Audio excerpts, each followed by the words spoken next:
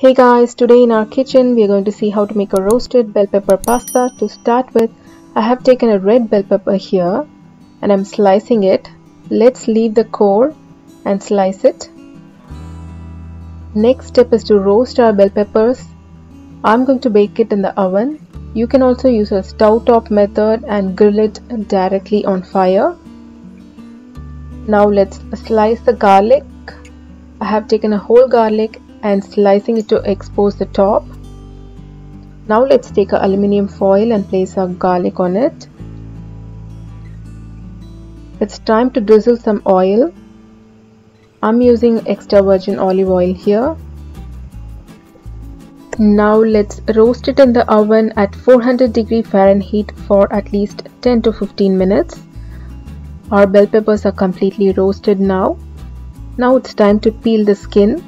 If you really like a smoky flavor, I prefer to keep the skin a little bit so that it gives a nice depth of flavor to our dish.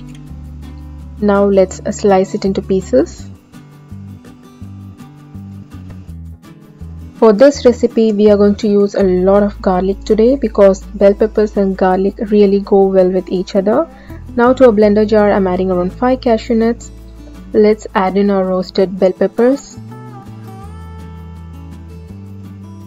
Next let's add in around 1 4th cup of marinara sauce. You can also substitute it with tomato puree here. Adding in our roasted garlic. You can just squeeze it out and the skin will come very easily.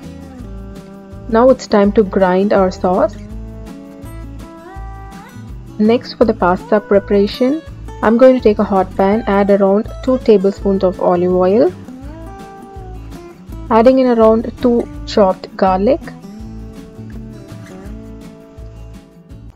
Once the garlic is roasted, let's add in our pasta sauce. The roasted bell pepper gives a beautiful orangish red color to our pasta. Now let's cook it for a few more minutes until the oil gets separated. I'm going to add few spices here. Let's add in some salt. You can add some pepper or chili flakes to increase the spice level, adding in some Italian herbs. Now let's give it up a quick mix. Our sauce is now completely ready. It's time to add in our cooked pasta. I have around 2 cups of cooked penne pasta here. Let's add it to the sauce.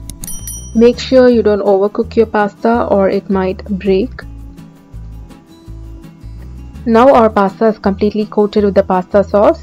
Adding in around 1 tablespoon of heavy cream here. This is totally optional but it gives a nice creamy texture to the pasta.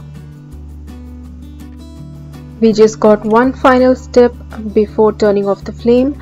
I'm adding around 2 tablespoons of grated cheese here. I'm using parmesan cheese. You can substitute with any cheese that you have on hand. Now our pasta is completely ready. Do try and let me know in the comment section how it worked out for you. See you soon with another exciting recipe. Until then, take care.